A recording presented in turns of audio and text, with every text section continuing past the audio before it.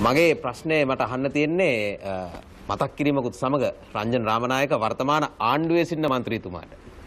දැන් මේ අ, අපේ වසන්ත සහෝදරයා එහෙම කිව්වා මේ අල්ලස් කොමිසමකට පැමිණිල්ලක් බාර දීලා සතියක් විතර කාලයක් යනවා කියලා අවශ්‍ය කටයුතු සිද්ධ කරන්න. මේක වෙනස් කිරීමක් කෙරෙන්න ඕන. ඒක පෙන්눔 කරනවානේ. එතකොටනේ මේ අස්යෝයි අ, නරි ඔක්කොම පැනලා යන්නේ. නමුත් අ, ඔබලාගේ දින 100 වැඩපිළිවෙල යටතේ පෙබරවාරි 5 වෙනිදා තමයි Commission to investigate corruption නැත්නම් corruptions නැත්නම් දූෂණ සඳහා වන කොමිසම පත් කිරීමක් පිළිබඳව special commission will be appointed to investigate allegations of massive corruption in the uh, preceding period.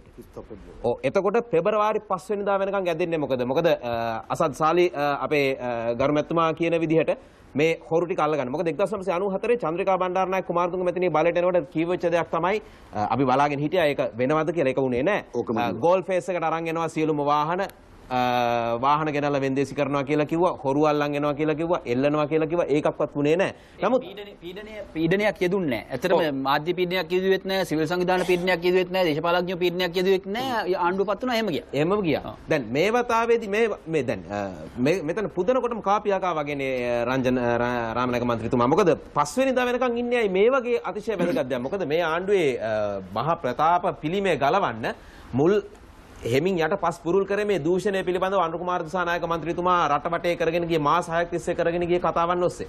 ඒකෙන් තමයි මේ ජනතාවට තේරෙන්නේ මේ ආණ්ඩුව මේ හිතන තරම් සුදුසු නැත සුදු නෑ කියන එක. මේකම පෙබරවාරි 5 වෙනිදාකම් පස්සට යන්නේ.